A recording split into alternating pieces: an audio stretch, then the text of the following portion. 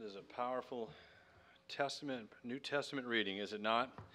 I love what the NASB said, the New American Standard says, a hard road ahead of them.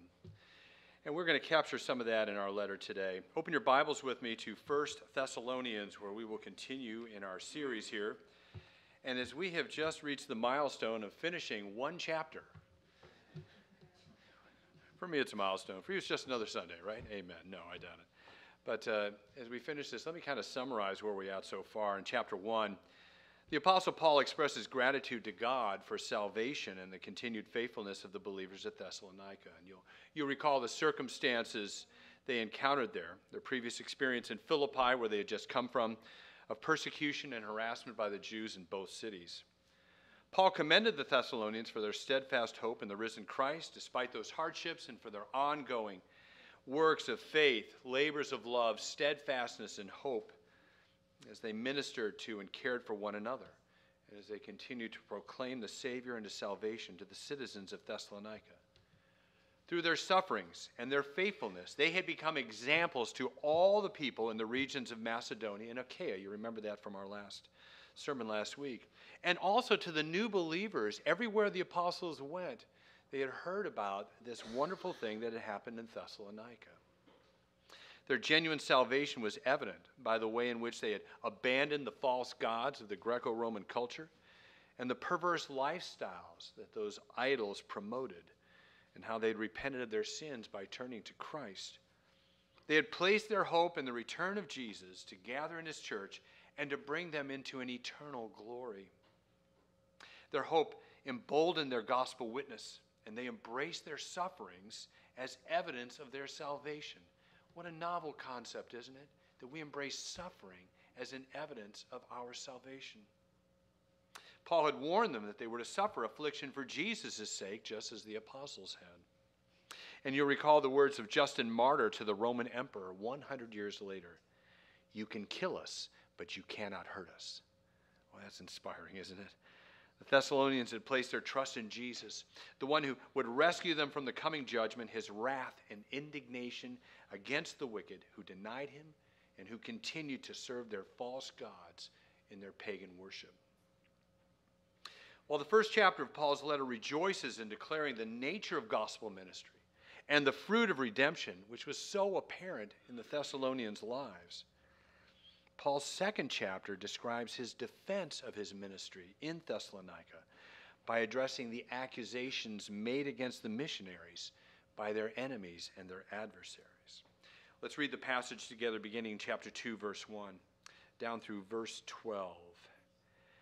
For you yourselves know, brothers, that our coming to you was not in vain. But though we had already suffered and been shamefully treated at Philippi, as you know, we had boldness in our God to declare to you the gospel of God in the midst of much conflict. For our appeal does not spring from error or impurity or any attempt to deceive. But just as we have been approved by God to be entrusted with the gospel, so we speak, not to please man, but to please God who tests our hearts. For we never came with words of flattery, as you know, nor with a pretext for greed. God is witness. Nor did we seek glory from people, whether from you or from others, though we could have made demands as apostles of Christ. But we were gentle among you, like a nursing mother taking care of her own children. So, being affectionately desirous of you, we were ready to share with you not only the gospel of God, but also our own selves because you had become very dear to us. For you remember, brothers, our labor and toil. We worked night and day that we might not be a burden to any of you while we proclaim to you the gospel of God.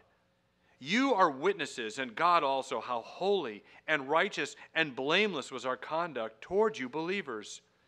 For you know how, like a father with his children, we exhorted each one of you and encouraged you and charged you to walk in a manner worthy of God, who calls you into his own kingdom and glory. Let me pray. Gracious God, Father of our Lord Jesus Christ, by your Spirit and by your word, shine the light of truth into the darkness of error.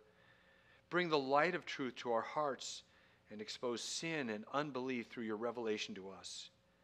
Quicken our hearts to believe all the prophets and apostles have spoken, and conform us by your word and by your Spirit into the likeness of your beloved Son and our Savior, Jesus Christ. Amen. This morning in our passage, we'll see how the apostle, through the inspiration of the Holy Spirit, responds to the slanderous attacks made against the God's ministers and his people by examining the source of our strength, the content and the conviction of our message, and by the motives of our ministry.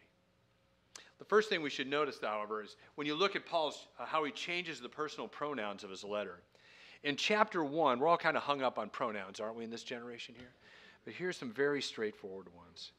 It's also very encouraging to hear our, our children. Our children know the difference that there's only male and female. Amen? Good job, kids. First thing we notice, however, he uses the word you in, uh, in the first chapter.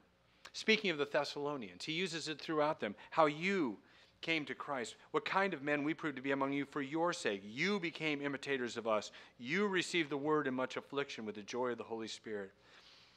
From the word of the Lord sounded forth from you in Macedonia, but your faith in God has gone forth everywhere. Here in chapter 2, the pronouns change to we, the second person plural, speaking of himself and Silas and Timothy as they lived and worked among the believers. Now, this is significant because Paul, through the Holy Spirit, is giving us an insider's view of what genuine gospel ministry entails. He doesn't flinch from describing the hardships that they encountered, the suffering they endured, and the joy they experienced by seeing pagans born again to a new and living hope. We're going to look first at the source of our strength. In verses 1 and 2, Paul offers a contrast between the harassment they had received in Philippi and Thessalonica and their response to that harassment. Hear what the apostle has to say. For you yourselves know, brothers, that our coming to you was not in vain. But though we had already suffered and been shamefully treated at Philippi, as you know, we had boldness in our God to declare to you the gospel of God in the midst of much conflict despite the terrible sufferings they had endured at Philippi persecuted, beaten, thrown into jail. They still had boldness in our God to declare his gospel to the Thessalonians. Now, where does boldness come from? This holy boldness had its source in our God, not in themselves or in their own strength or power. It was an external, not an internal empowerment. There was nothing in themselves that propelled them forward into more suffering and abuse. In fact, this was a common experience for Paul and Silas and for Paul and his former associate Barnabas. You'll recall from Acts chapter 13, in the beginning when they were first commissioned as evangelists in Antioch. And after a large number of converts came to believe there, Luke writes this The Jews stirred up persecution against Paul and Barnabas and drove them out of the district. That's their first stop. From there, they went to Iconium, where Paul was stoned and left for dead. After going back to Jerusalem for the council there, in Acts 15, Paul traveled with Silas now through Macedonia, where they suffered at Philippi, where you have the tremendous high of seeing Lydia and the Philippian jailer converted along with the tremendous low of Paul and Silas being beaten and jailed. Yet these two kept coming back for more, didn't they? They're like the Energizer bunnies. It's just a way, there was a guy, you remember Timex watches? It, it, keep, it takes a beating and keeps on ticking. Warren Sr. knows what I'm talking about. Maybe you too, Jim and Pat. You they kept coming back for more. You'll recall the message which Paul brought to the Thessalonians. He reasoned with them from the scriptures, explaining and proving that it was necessary for the Christ to suffer and to rise from the dead, and saying, This Jesus, whom I proclaim to you, is the Christ, the Savior of the world. The truth that the Savior had to suffer, even to death, resonated with the believers they understood in some sense what they were turning from the false gods who had enslaved them to sin and what they were turning to, the living and true God, who had forgiven their many sins and who had given them a new heart and a new spirit and the willingness to suffer for his sake as he had suffered for theirs. What Paul states in the negative in verse 1 that our coming to you was not in vain, it, it was not a failure, is emphasized in the positive in verse 2. Look with me there. The Spirit given boldness had empowered them to declare the gospel of God in the midst of much conflict or opposition. This is the real power of gospel ministry. God empowers his ministers and his people to endure much opposition without forsaking their mission. He is the source of our strength to persevere, to suffer with joy for the sake of our future glory. Look with me at chapter 1 and verse 6 there, where Paul reminds the church listen to what he says You became imitators of us and of the Lord, for you received the word in much affliction with the joy of the Holy Spirit. In other words, out of opposition and hardship comes victory. God's word does not return void, but it accomplishes that which he purposes and succeeds in the thing for which he sent it, as the prophet proclaims in Isaiah chapter 55. Some of you might, who are old enough, again, I'm, I'm going to have to update my cultural references, I think, here. Some of you remember uh, the final fight scene in Rocky 3. Remember, was that the one with Clubber Lang? All right. Despite being terribly beaten by Clubber, his adversary in their first fight, Rocky had conditioned himself to take the beating and to wear down his opponent. In fact, he taunted Clubber Lang during the last round, saying, Hit me again, man. Ain't so bad. Hit me again. Come on, man. You're nothing. You got nothing. He kept taunting him. And he prevailed when his opponent wore himself out, throwing punches at him, and left himself defenseless against the well conditioned Rocky. You see, Rocky had trained himself to endure hardship. His strength was in his conditioning, in his will to win and to prevail. At one point in the early rounds, when Rocky was getting hammered by Clubber, Apollo Creed is in this corner in this fight. He gave this great line about Rocky. He's not getting beat, he's getting mad. What a great line. Now, hear me, church. I am not counseling any of you to gear up for a boxing match against spiritual forces of darkness in the heavenlies. Please hear me about that, okay?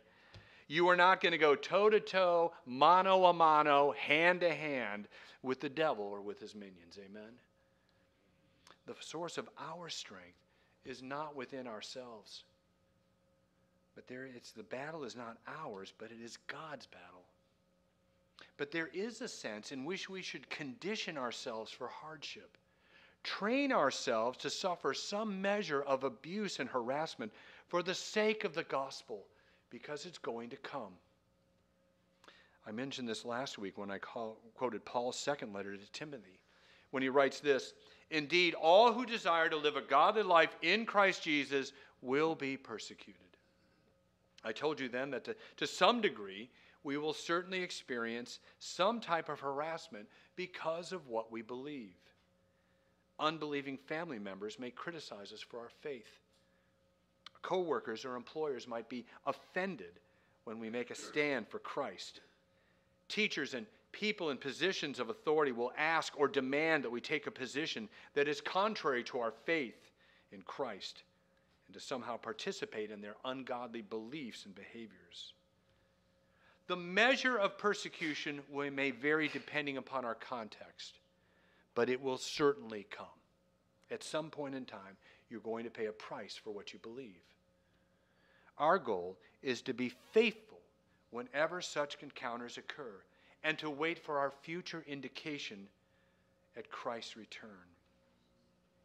So, to prepare for this eventuality, we would do ourselves great good to train ourselves in godliness by obeying the words of our Lord Jesus. If anyone would be my disciple, let him deny himself, take up his cross, and follow me. Paul instructs Timothy again with advice we would do well to follow ourselves.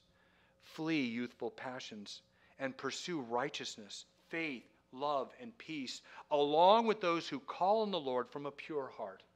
Have nothing to do with foolish, ignorant controversies. You know that they breed quarrels.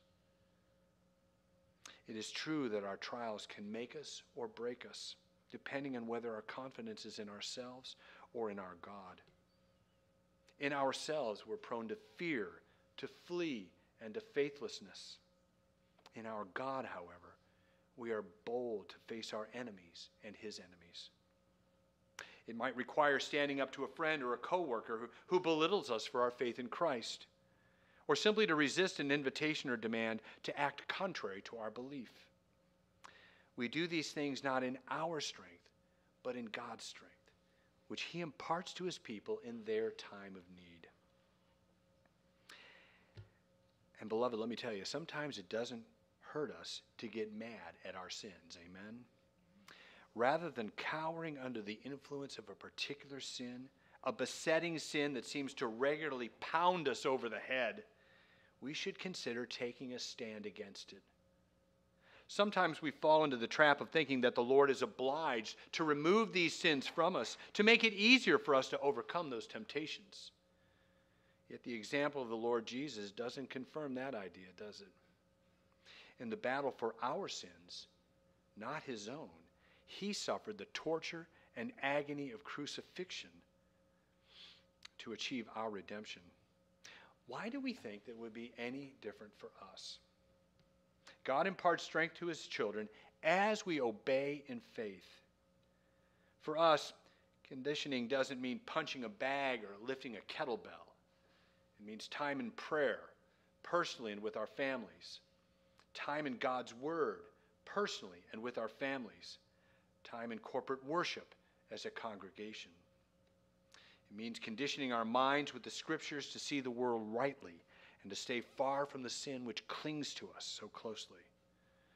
Hebrews chapter 12 is a wonderful spiritual workout routine, which we would all do well to study and follow. I, I don't mean to belabor this, beloved, but this is something that we see time and time again in our own lives. At some point in time, you're simply going to have to nail a particular sin to the cross and let it die. What that means is you'll have to endure the suffering of a sin that wants you to cave into it, to indulge in a temptation to sin with your tongue, to fulfill a lust, or to give in to a craving. And when you nail that thing to a cross, you will simply have to endure the suffering of letting it die a slow, painful death. And once it's dead, you will have to keep that thing in a tomb locked up. And periodically, you'll have to wrestle it back into that tomb to keep it dead. If you've ever done battle with a particular sin to bring it into submission to the will of God, you know what I'm talking about. Some sins are like the walking dead, you'll have to keep killing it. We're free from sin only in the next life, beloved, not in this one. But be of good cheer our Savior has overcome the world. Amen. Praise God. So, the source of our message and the strength to declare it is in our God. Verses 3 and 4 tell us what the content and conviction of our message is it is the gospel of God. Look with me at the next two verses. For our appeal, referring back to the previous verse, the gospel of God, does not spring from error or, impur- or impurity or any intent to deceive. But just as we have been approved by God and to be entrusted with the gospel, so we speak, not to please man, but to please God who tests our hearts.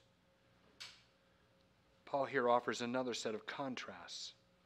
His message does not originate in error. He is not intellectually mistaken or challenged in his understanding of the life, the death, and the resurrection of Jesus Christ. His message isn't tainted with impure motives or attempts to please a particular group. Nor does he engage in any form of deception or trickery. He lived what he preached, and he preached what he lived. The missionaries were consistent in their words and in their deeds. They walked the walk as they talked the talk. Paul will give examples of this a bit further in his letter. Rather than impurity, error, or deceit, Paul brought them the truth as it is in Jesus. Paul proclaimed the gospel of God, not his gospel, but God's gospel. He understood that he was just a herald of the great king, a simple messenger, but a messenger who was approved by God. Paul, Silas, and Timothy were men who had been tested and tried in the fires of adversity and hardship. These were not men who failed to meet the test of character that God required of all his messengers and ministers. God had examined their hearts to expose the dross of personal sin and to harden the resolve of will necessary to fulfill the duties to which they had been called. These were not your prosperity preachers or televangelists, were they? There was nothing attractive about their lifestyles or their message which would cause a listener to envy them or their position. They carried a message from the Most High God, confronting fallen men and women with their sins and pleading with them to come to Christ and to flee the wrath to come. The gospel of God is entrusted to faithful men. It is a high calling to be approved by God. It requires a combination of conviction and compassion. Here in verse 4, Paul addresses the conviction necessary for faithful ministry. In verses 7 and beyond, which we'll explore next week, he'll address the compassion which is required for faithful ministers. Our Old Testament reading from Jeremiah describes the prophet's calling by God.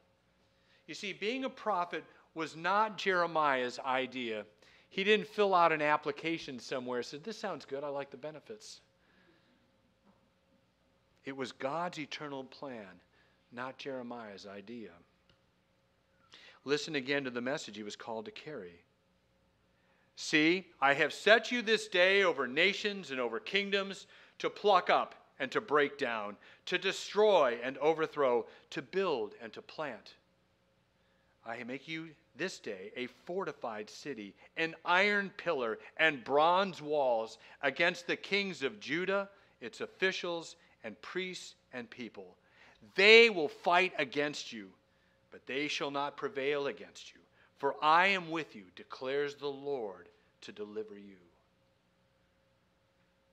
Without this conviction that the Lord was with him, Jeremiah would have withered like a daisy in the desert.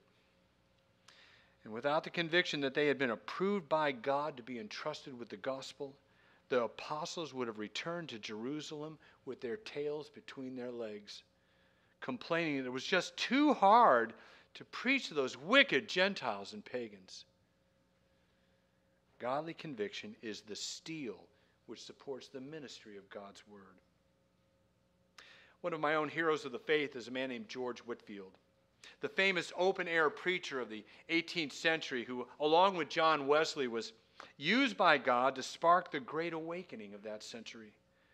Whitefield crisscrossed England on horseback, preaching in the fields and along the byways, wherever he could draw a crowd. Later in his ministry, he drew thousands out of the towns and, and the areas where he preached. They came to hear him preach the crucified Christ. Like Paul, he wasn't welcome in many of the pulpits of the churches of England in the early 1700s. They had become infected with deism, rationalism, liberalism in our modern context. And just 50 years, 50 years after the minister, after the Westminster Divines had assembled to write the spiritual standards of our faith and tradition, England was on the verge of economic and spiritual collapse widespread alcoholism, spiritual bankruptcy had destroyed Britain's social system, and they seemed headed for complete collapse.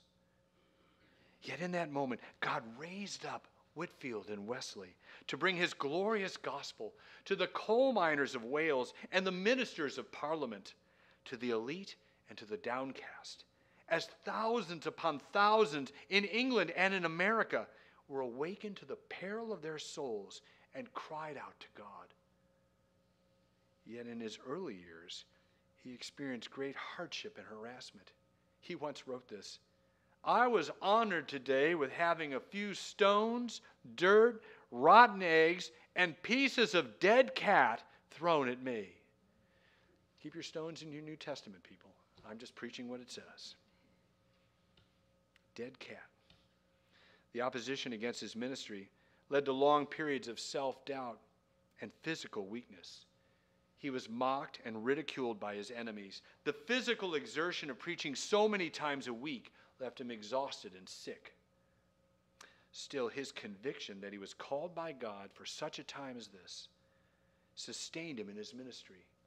He died at the age of 55 after preaching for 30 years all over England and making multiple transatlantic trips to America where he preached from New England all the way down to Georgia. Beloved, you and I are likewise called by God to serve Him, not necessarily in similar fashion, but with similar conviction. The days ahead may be long and frequently difficult. Faithfulness in your own ministries at home and at work will demand conviction that God has called you to serve Him in whatever context you find yourself.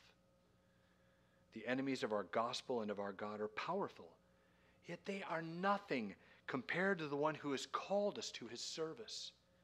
Let godly conviction steel your own resolve to carry on in faithfulness. Amen.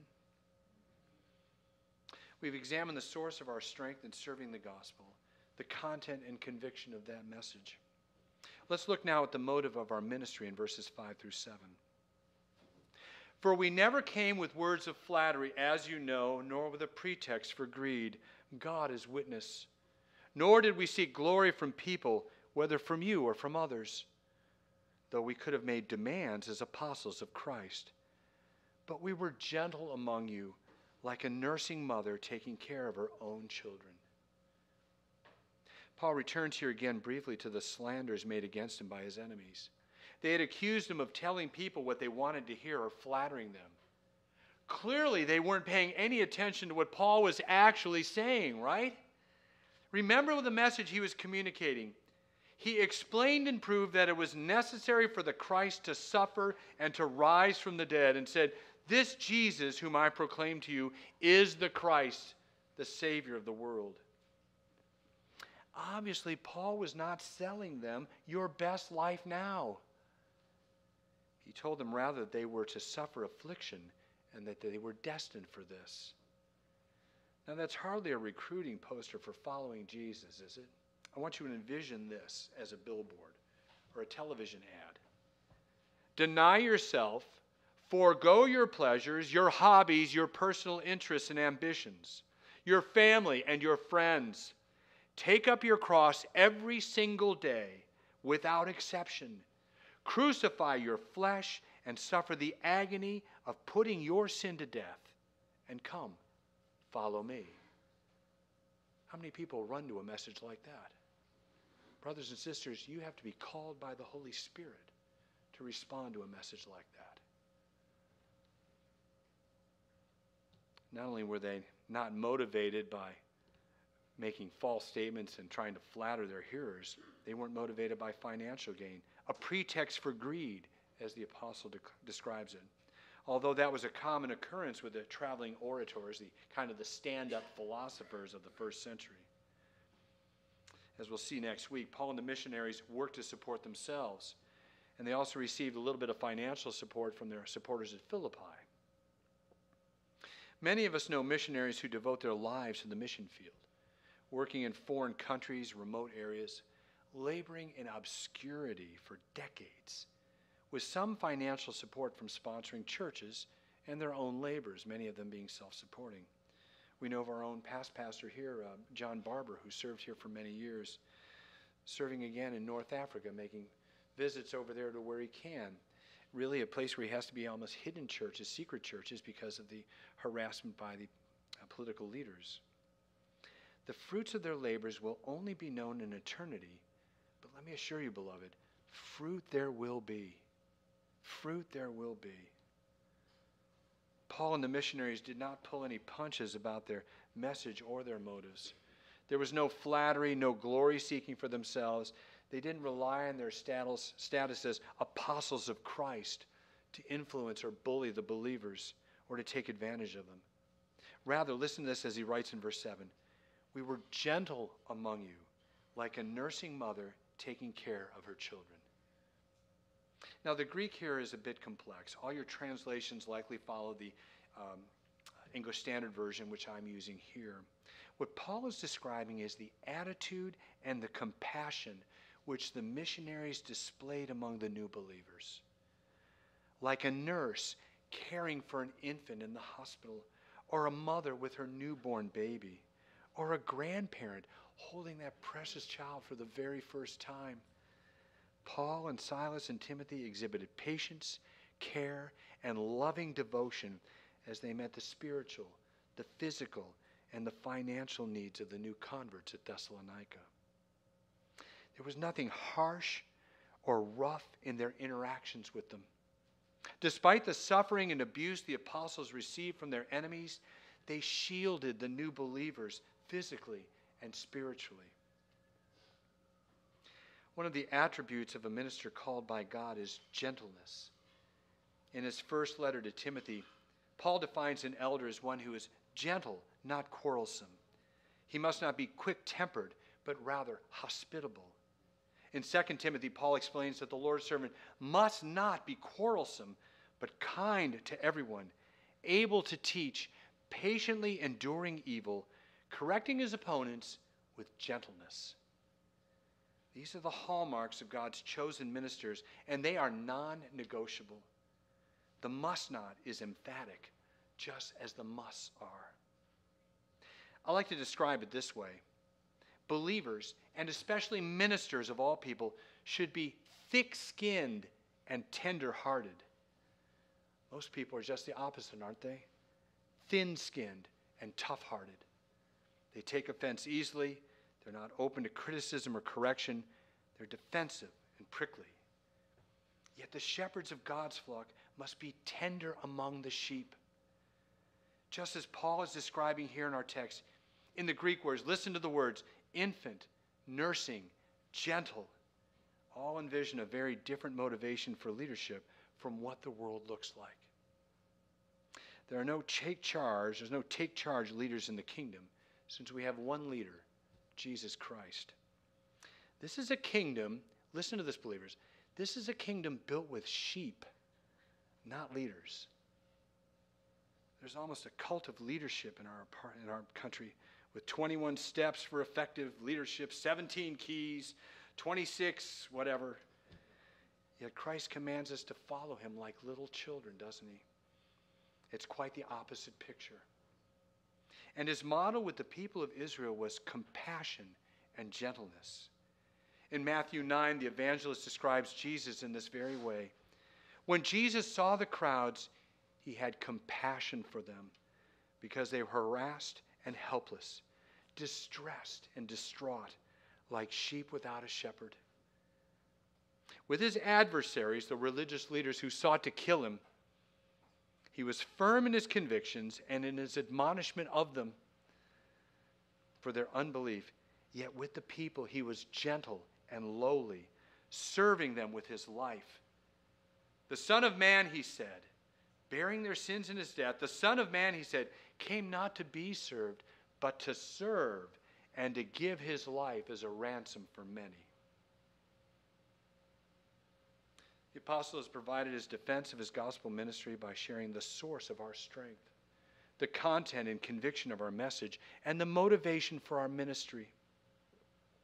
The mark of the Christian minister and the mature Christian believer is gentleness and firmness. Firm in our convictions, gentle in our demeanor. In our own lives and homes, may we demonstrate this same firmness of conviction and gentleness of demeanor as we bring the light of the gospel into the surrounding darkness. Let's pray. Almighty God and gracious Father of our Lord Jesus Christ, you have granted us eternal life by the righteousness of Christ imputed to us by faith. You have adopted us as your sons and daughters and have given us your Spirit to renew us in the whole man after the image of God enabling us to die more and more to sin and live unto righteousness. Be our strength in suffering. Give us conviction and compassion in our hearts and homes. Grant us right motives to seek your glory rather than our own. We ask these things in the name of your Son, our Savior, Jesus Christ. Amen. Well, if you'll stand as we come to our confession of faith this morning, as our worship team comes to join us. I believe in God, the Father Almighty, creator of heaven and earth. I believe in Jesus Christ, his Son, our Lord, who was conceived by the Holy Spirit, born of the Virgin Mary, suffered under Pontius Pilate, was crucified, died, and was buried. descended into hell. Third day he rose again from the dead.